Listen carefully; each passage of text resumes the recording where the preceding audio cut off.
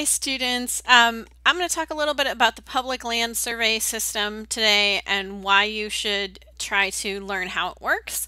Um, it's very common to have questions about this on introductory kinds of jobs either in planning or in um, natural resource management because the public land survey system um, basically laid out land ownership in the US, most of the US, definitely this part of the US. Um, so I'm going to tell you a little bit about the history and a little bit about how the um, system works to locate things within it, pieces of land within it. Um, and then you can go take a little quiz and see if you got the main points. So if you're doing field work, if you're going out someplace to check some endangered species or something, you might um, encounter the public land survey system um, in terms of dealing with who owns what piece of, of property. Um, the system was set set up by Thomas Jefferson. Um, he was laying out settlement for much of the U.S. and he set up this system to try to improve the way that um, property was allocated to different settlers to reduce um, the amount of conflict over little pieces of land and to have a uniform way to um, describe um, pieces of property and who owned what, right? So this system was designed to be easy and um, something that anybody could understand. Um, okay, so um, this happened in 1785, uh, where he put this together by the Land Ordinance Act.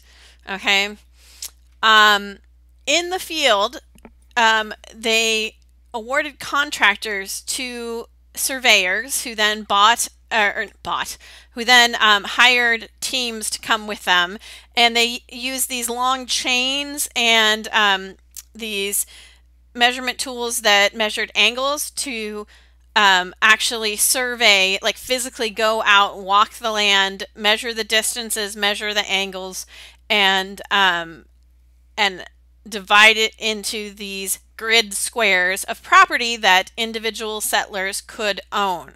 Right. Prior to this, Native Americans didn't own land in that way. Right. Um, so in order to do this, they wrote down things in what are called plat books sometimes, plat maps. Um, they had notes in their surveying map, and then um, so you can see on the right hand side here, we've got some notes about which township and range they're surveying, and then details about what you know what each section was like. And then for this same area, you can see the the note map that they made and then over there to the left is the official uh, plat map that they made from that those notes. Okay? So oftentimes you will hear about plat maps or plat books. Um, also any map that has to do with land ownership which is what we're talking about here um, it can also be called a cadastral map. Okay? So you might hear those terms cadastral map plat map plat book.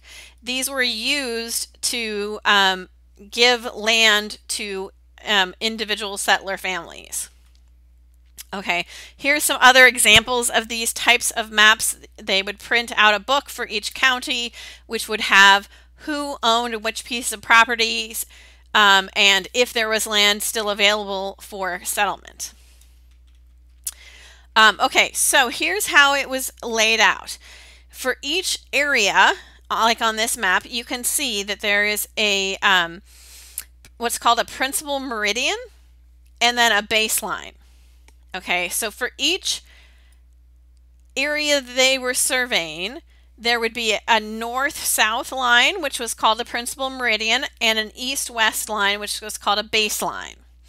Okay, and so then the the square, the grid squares, the townships and ranges would be counted um, north or south of the baselines and east or west of the principal meridians. Okay, Got that? So here's an example. Um, we can see a baseline um, in the middle of Arkansas, sort of. So um, northern part of Arkansas would have township numbers that were going north from that baseline. Southern part would go south from that baseline. And then it says fifth, fifth principal meridian. Um, so the the far eastern, sort of northeastern corner of Arkansas would then have um, eastern uh, ranges, and the rest would have western ranges. Okay, so a township and range, um, or what's often called a township, is a six mile by six mile square. And um, in this drawing here, you can see that um, we start at the initial point and then you count one, two, three, four, west or east. Um, and then you count, you know, one, two, three, four, north or south. So each grid square has a designation either north or south and either east or west. Okay. Um, within each township, it's divided into 36 sections, and each section is one mile square.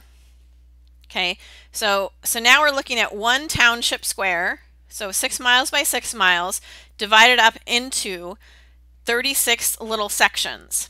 Okay, and they're numbered in this weird way, starting at the northeast corner with section one and going um, west like the surveyors were walking west, then they would go south and then back east again. So this is sometimes called as the ox plows, okay?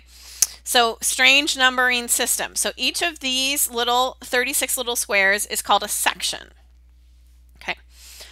Um, so each section is one mile square. Um, usually in most places they set aside section 16 to be a school and section 36 to be um, for government operations and that kind of things. Um, all of this facilitated the Homesteading Act. So in 1862, they the Congress passed this Homesteading Act, which basically said any um, citizen of the U.S. could file for a quarter section of free land. So um, so not a whole mile square, but a quarter mile by quarter mile quarter section. And then you had to like build a house and dig a well and, you know, plow some land and fence some areas and live there. And then you got that land for free, having stolen it from the Native Americans. Okay, so now I'm going to talk a little bit about section subdivisions. It's very um, weird the way they did this, but um, it makes sense once you kind of get the hang of it. So these are sometimes called aliquot parts. So within one little section, um, you could divide it up into four quarters, right? You'd have a northwest quarter, a northeast quarter, a southwest quarter, and a southeast quarter. Okay, so so that's the first division. Um, then you could divide each of those quarters further into halves or quarters. Okay. Um, and this is written in a way that starts with the smallest subdivision and then as you move right as you're writing goes to the largest subdivision. So for me, sometimes I like to read them backwards, okay? So like um, square A, labeled with that big red A, is the southwest quarter of this section, and it's the western half of that southwest quarter, okay? But you write it um, western half, southwest quarter. Um, same thing with the area labeled B.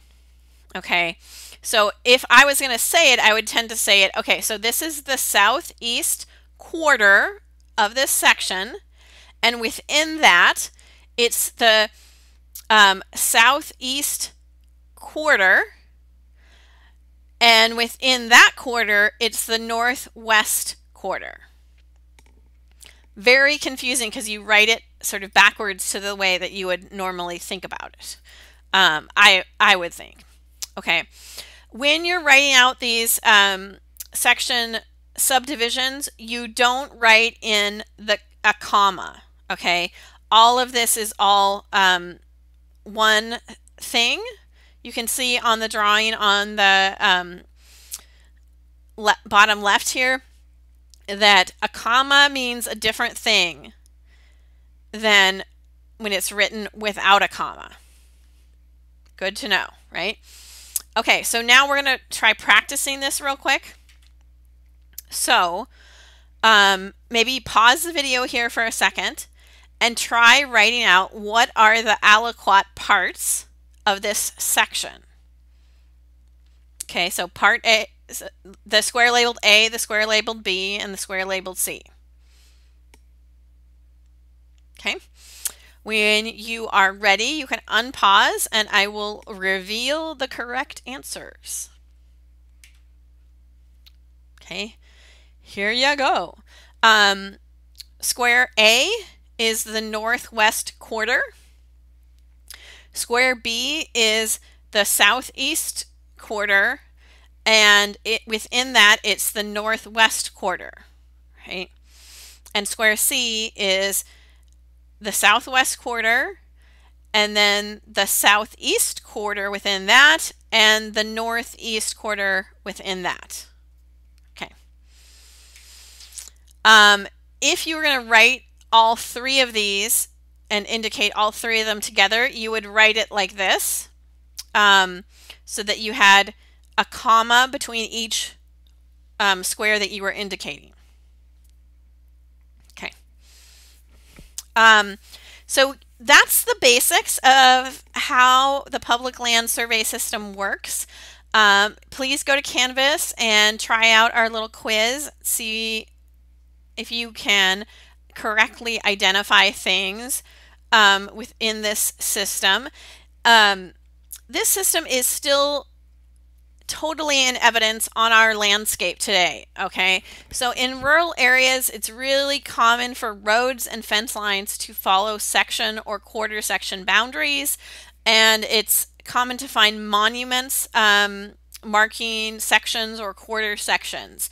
So um, if you're doing any field work out in rural areas, um, you might need to know this or if you're looking into the history of land use, or if you're involved in planning, you might need to know these things. All right. Thanks very much, guys.